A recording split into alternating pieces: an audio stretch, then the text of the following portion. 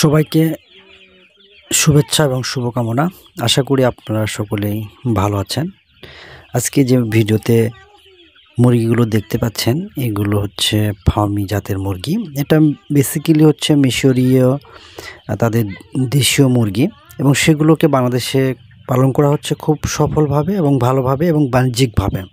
তো আজকের এই ভিডিওতে আমি আপনাদেরকে এই মুরগির সম্পর্কে একটু তথ্য দিব এবং সেটি আপনারা কীভাবে পালন করবেন এবং যারা এখন পালন করছেন, তারা আসলে কীভাবে করছেন, এই যে বিষয়গুলো আপনারা যদি দেখেন, তাহলে আপনারা বুঝতে পারবেন যে আসলে এই মুরগিটা আসলে কীভাবে পালন করা হচ্ছে এবং সেটার আলোকে আপনি একটা আইডিয়া নিতে পারবেন, আশা করি। তো ছোট্ট একটা প্রোফাইল আপনাদের সাথে শেয়ার করব যে এখানে মুরগি আছে হলো তিনশোটি এবং বয়স প্রায় ষাট থেকে পঁয়ষট্টি দিন এবং এই যে মুরগিগুলো ঘোরাফেরা করছে, এই মুরগিগুলো বেসিক্যালি তারা মাংসের জন্য পালন করছে। তবে ডিমের জন্য কিছু রেখে দিবে, এটা আমরা কথা বলেছি তাদের সাথে কথা বলে আমরা জানতে পেরেছি। যিনি যে আপা এই মুরগিগুলো দেখাশোনা করেন, আসলে উনি অনেক সংরক্ষিত মানে কী বলো এটাকে? মানে কনজারভেটিভ এবং অনেক ভালো মনের অধিকারী আপা, কিন্তু আসলে উনি ইন্টারভিউ দিতে রাজি না। যার কারণে হয়তো বা তার হয়ে কথাগুলো বলছি। এই মুরগিগুলোকে সম্পূর্ণভাবে ছেড়ে দিয়ে পালন করা হচ্ছে। এবং এতে করে অনেক সুবিধাও হচ্ছে আবার অসুবিধাও হয়, সেইটা বিষয়ে আমি পরে কথা বলব। রাতের সময় এই সকল মুরগিগুলোকে ঘরে রাখা হয়, যেখানে ঘরটি দৈর্ঘ্য হচ্ছে বিশ ফিট বাই হচ্ছে নয় ফিট এবং একশো আশি বর্গফুট জায়গার মধ্যেই তারা এই ঘরের মধ্যে তারা রাখে, বিশেষ করে রাতে। এবং ঘরটি মূলত উপরে টিন দিয়ে বানানো হয়েছে এবং চারদিকে তাদের পরিত্যক্ত জায়গা ছিল, যেহেতু এক সাইডে দেওয়াল আছে এবং দুই সাইডে তারা চাটাই দিয়ে বা নেট দিয়ে ঘিরে তারা দিনের সময় রাতের সময় তারা রাখে এবং দিনের সময় সম্পূর্ণভাবে মুরগিগুলোকে ছেড়ে দেয়। ফলে যেটা হয়, যে ছেড়ে দেওয়াতে আসলে বাড়তি সুবিধা রয়েছে সেটা যেটা হয়, সেটা মুরগিগুলো খুব ভালোভাবে চলাফেরা করতে পারে। তারা নিজের মতো একটা পরিবেশ খুঁজে পায় বলে শারীরিক দিক থেকে তারা ফিট থাকে এবং তারা ফ্রেশ থাকে।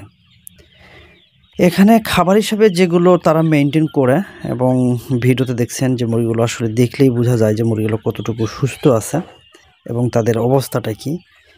তাদের চেহারা দেখলেই বোঝা যায় যে আসলে মুরগি কতটা ভালো আছে। খাবার হিসাবে এখানে সবজি, চাল এবং গমের যে ভুসিটা আছে সেটা তারা দেয় এবং চালের খুঁটটা দেয় ভিজিয়ে। বিভিন্ন শস্য দানা তারা দেয়, বিশেষ করে সিজনাল শীতের সময় বাঁধাকপি, ফুলকপি এবং আপনার যে লাউগুলো রয়েছে, সেই লাউকে সিদ্ধ করে দেয়। আবার আলুর যে সিজনের সময়, সেই আলুগুলোকে অর্ধেক সিদ্ধ করে সেখানে লবণ ছিটিয়ে সে মুরগিগুলো তারা দিয়ে থাকে। আর এমনিতেই যেগুলো হাতের নাগালে, যেগুলো বিশেষ করে কাঁচা, কচি ঘাসগুলো আছে সেগুলো তারা কেটে দেয় এবং সেগুলো খুব ভালোভাবে খায়। আর দুপুরে তারা ফিড দেয়, যেটা প্রতিদিনই দেয় বলতে পারেন। প্রায় এক থেকে দেড় কেজি নামে মাত্র তারা ফিডগুলো দেয়, দিনে একবার, সেটা দুপুরের সময়। এভাবে চলতে থাকে। মোটামুটি মুরগির গ্রোথ কালার তারপর হচ্ছে আপনার তার মুভমেন্ট সব কিছু মিলেই মনে হয়েছে যে মুরগিগুলো অনেকটা সুস্থ আছে। আর এই সুস্থ থাকার বেসিক্যালি অনেক কারণ আছে, সেগুলো আমি একটু ভিডিও শেষে বলব। এখানে ভ্যাকসিন হিসাবে তারা শুধু একটা মাত্র ভ্যাকসিন তারা কমপ্লিট করেছে, যেটা হচ্ছে রানীক্ষেত বিসিআরডিবি তারা চার থেকে পাঁচ দিনে একটা দিয়েছে এবং হচ্ছে আপনার আঠারো থেকে উনিশতম দিনে বুস্টার ডোজ হিসেবে বিসিআরডিবিটা দিয়েছে। তবে তারা বেসিক্যালি মানে ভ্যাকসিনের যে প্র্যাকটিসটা তারা করতো না, আমরা তাদেরকে সাপোর্ট হিসেবে টেকনিক্যাল যে বিষয়গুলো তারা আমরা যখন তাদেরকে বলি, তখন কিন্তু তারা বিসিআরডিবির মতো ভ্যাকসিন দেয়, গাম্বুরোটা, যদিও বা তারা দেয়নি। তো এই ছিল মোটামুটি ভ্যাকসিনের বিষয়টা। আর এখানে হয়তো বা পঞ্চাশ থেকে ষাটটা তারা রেখে দিবে সেগুলো যেগুলো ডিমের জন্য রেখে দিবে, সেগুলো হয়তো বা তারা পক্স এবং হচ্ছে ফাউল যে কোলারা ভ্যাকসিনটা আছে, সেটা হয়তো বা দিতে পারে। এখন যেহেতু এই মুরগিগুলোকে যে খাবারটা দেয়, সেটা বেসিক্যালি হচ্ছে সোনালি ফিডটাকে তারা খাওয়ায়, এই ফার্মি মুরগিকে। তো সোনালি ফিডের যে স্টার্টার, গোরোয়ার এবং ফিনিশার রয়েছে, সেটাই মূলত তারা কন্টিনিউ করছে। তো এই পর্যন্ত এই খামারটা তারা করতে গিয়ে যেগুলো খরচ হয়েছে, বিশেষ করে হচ্ছে আপনার ফিডের পিছনে খরচ হয়েছে সবজি, তারপর হচ্ছে আপনার আনুষঙ্গিক যে মানে খুদ বা ভুসি আছে সেইটা তারপরে মেডিসিন এবং অন্যান্য খরচ সব কিছু মিলিয়ে প্রায় চোদ্দ হাজার পাঁচশো টাকার মতো তাদের খরচ হয়েছে এ পর্যন্ত। এখানে ফিট তারা প্রায় আড়াই বস্তার মতো লেগেছে পঁয়ষট্টি দিনতে। আড়াই বস্তা। ওঠাতে একশো তিরিশ কেজির মতো খাবার লেগেছে। আর ফিড বর্তমান বস্তা হচ্ছে বত্রিশশো টাকা। এখানে আট হাজার তিনশো বিশ টাকা লেগেছে। সবজি তারা, তাদের হিসাব মতে বত্রিশশো টাকা মেডিসিন প্রায় পনেরোশো টাকার মতো খরচ হয়েছে এবং অন্যান্য খরচ রয়েছে, সেটা হচ্ছে বারোশো টাকা।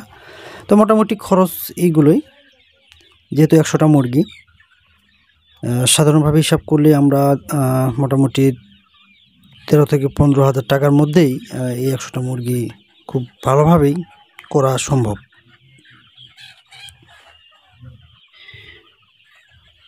তো এই ফার্মি জাতের এই মুরগিটা অনেকটা দেশি মুরগির মতোই এবং তার চালচলন মানে খাওয়া দাওয়া সব কিছুই দেশি মুরগির মতোই আমার কাছে মনে হয়। কারণ সব ধরনের খাবারই বেসিক্যালি আমি দেখেছি, সেগুলো খাই। তবে কালারটা শুধু আপনার ধূসর এবং সাদা সংমিশ্রণ।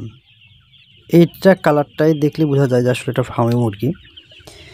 তো এই যে আপা যিনি এই মুরগিগুলো পালন করছেন, তিনি বেসিক্যালি তার ইচ্ছা ছিল যে সেগুলোকে অল্প করে বাসায় রেখে নিজের মতো একটা পরিবেশ দিয়ে এবং মুরগির মতো পরিবেশ দিয়ে এবং নিজের মতো একটা পরিবেশ দিয়েই তারা পালন করবে। সেই স্বপ্নটাকে কাজে লাগিয়েই তারা এই পরিত্যক্ত জায়গাতেই তারা মুরগিটা পালন করছে এবং দেখেই ভালো লাগে যে আসলে মুরগিগুলো মানে মন চায় যে আসলে এরকম একটা নিজেই করে ফেলি।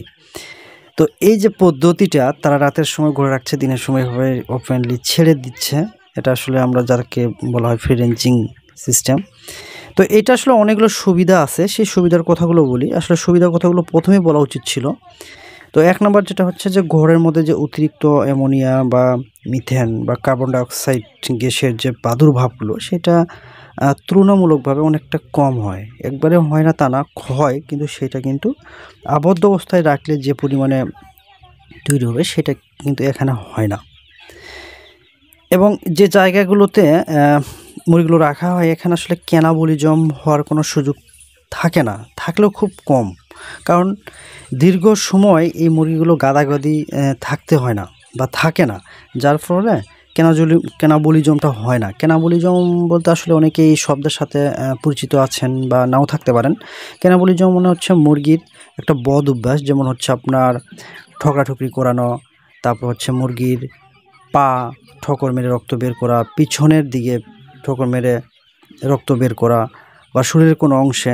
মানে এই যে বদ অভ্যাসগুলো বা মাটি খাওয়া বা খেয়ে ফেলা, এই ধরনের বদ অভ্যাসগুলো গড়ে ওঠে না। তারপর হচ্ছে যেহেতু ফার্মি মুরগির একটা বড় একটা বৈশিষ্ট্য হলো যে এরা দলবদ্ধ হয়ে থাকে। হ্যাঁ ফলে এদিক সেদিক তারা উড়াউড়ি কিন্তু করে না। মানে ছেড়ে দিলেও কিন্তু দেখা গেছে তারা সবাই দলবদ্ধ অবস্থায় থাকে, কিন্তু উড়াউড়ি করে না। অনেকটা, অনেক মুরগি আছে, যেমন দেশি মুরগি বা তিতির টাইপের মুরগিগুলো যেমন উড়াউড়ি করে খুব, এই মুরগিগুলো কিন্তু সে ধরনের না। এবং আঙ্গিনের মতো যখন ছেড়ে দেওয়া হয়, তখন এই মুরগিগুলো নিজের একটা পরিবেশ পায়। তখন তারা কি করে? নিজের মতো করে চলাফেরা করে, ঘোরাফেরা করে, ঘুমায়, খায়, হাগু করে সব কিছুই মনে হয় এখানে ফ্রিলিভাবে তারা করার একটা সুযোগ পায়। ফলে মেন্টালিভাবে তারা কিন্তু অনেকটা ফিট থাকে এবং ফিজিক্যালিওভাবে তারা ফিট থাকে। কারণ তারা ব্যায়াম করে। আর আরেকটা বড়, সবচেয়ে বড় যে বিষয়টা, সেটা হচ্ছে যে, আপনার এখানে মুরগিগুলো হচ্ছে মুক্ত বাতাস পায় এবং সূর্যের আলোটা পায়। সূর্যের আলো মুরগির জন্য সবচেয়ে ভালো একটা মানে লাইটিং সিস্টেম ন্যাচারালিভাবে যদি বলা হয়। একবারে ন্যাচারালি একটা মানে সূর্যের থেকে যে আলোটা আসে, সেটা কিন্তু তার শরীরে খুব ভালো একটা কাজে দেয়। এবং এখানে যেহেতু মুক্ত বাতাস পাই ফ্রেশ বাতাস পাই ফলে মুরগির যে শারীরিক ফিটনেসটা এটা সবচেয়ে ভালো থাকে। এই পদ্ধতিটা করতে গেলে একটা সমস্যা হয়, সেটা হচ্ছে যে বাড়তি আঙিনায় মানে বাড়ির যে আঙিনাটা আছে, সেখানে ছাড়লে অনেক সময় পায়খানা করে ঘুরে, ঘরের মধ্যে ঢুকে যায়। এটা একটা অনেকে ঝামেলা মনে করে, আর আদৌ হয় কিন্তু। আর গ্রামের মধ্যে অনেকে অভ্যস্ত হয়ে যায়। আর একটা সমস্যা আমি দেখেছি যে, যদি কোনো টেকনিক্যাল বিষয়ে যদি সঠিক কোনো ধারণা না থাকলে, দেখা গেছে যে মুরগির মৃত্যু হারটা অনেক বেশি হয়ে যায়। বিশেষ করে আপনার ব্রোডিংয়ের সময়। আমরা যারা গ্রামে থাকি, বা অনেকেই আমরা মনে করি, বা স্বপ্ন দেখি যে ইচ্ছে হলো যে মুরগি করব। তো একদিন বাচ্চা নিয়ে এসে ব্রুডিংয়ের যে ব্যবস্থাপনা, সেটা আমাদের সঠিক জানা থাকে না। তারপরে ব্রুডিং অবস্থা থেকে যখন বড় স্পেসে নিয়ে যাওয়া হয় মুরগির বাচ্চাগুলোকে, তখন এগুলো সঠিক ধারণা থাকে না। মুরগির যে ভাষাগুলো আছে, সেটা আমাদের বুঝতে আমাদের সমস্যা হয় বা বোঝা যায় না প্রাথমিক অবস্থায়। তো সব কিছু মিলিয়েই এটা বড় একটা অসুবিধাও রয়েছে। যদি ফ্রি রেঞ্জ পদ্ধতিতে যদি করা হয়। সর্বশেষ আপনাদের কাছে একটা সুপারিশ আমাদের, আমার রয়েছে। এটা আমার ব্যক্তিগত একটা সুপারিশ। ভালো লাগতেও পারে, আবার লাগতেও পারে। সেটা হচ্ছে যে বাসায় যদি আপনার পরিত্যক্ত যদি ছোট্ট জায়গা থাকে, আপনি সেখানে খুব অল্প সংখ্যক মুরগি রেখে পালন করতে পারেন। এতে হয় কি, আপনার পরিবারে নিজেই আপনি নিরাপদ একটা মুরগি খাওয়ার সুযোগ তৈরি হবে। কারণ নিরাপদ বলছে এই কারণে। আপনি যেহেতু এগুলো নিজেই দেখাশোনা করছেন, কি পরিমাণে ওষুধ খাওয়াবেন, কি খাওয়াবেন না সব কিছু মিলেই মানে আপনার মতো করেই কিন্তু আপনি মাংসটা তৈরি করতে পারছেন, ডিমের জন্য হয় ডিমটাও তৈরি করতে পারছেন। তো এটা একটা আপনি করতে পারেন। এবং সর্বশেষ যেটা ফ্রেশ মুরগি হ্যাঁ এটা আপনি মানে খাওয়ার পাশাপাশি আপনি এগুলোকে বিক্রি করতে পারেন। যেটা একটা আপনার ইনকামের একটা বাড়তি, একটা সুযোগ তৈরি করবে। মানে বাড়তি আয়ের একটা সুযোগ তৈরি করতে পারে। সুতরাং আপনি চাইলেই এইটা বাসার কোনো একটা ছোট একটা জায়গাতে আপনি শুরু করতে পারেন। সেটা তিনশোটা না, আপনি পঞ্চাশটা হোক, একশোটা হোক বা দুশোটা হোক, আপনার সামর্থ্য অনুযায়ী কিন্তু আপনি শুরু করতে পারেন। এটা ছিল আমার সুপারিশ। তো সর্বশেষ আপনারা ভালো থাকুন, সুস্থ থাকুন। আপনাদের সাথে দেখা হবে এরকম একটা ভিডিওতে।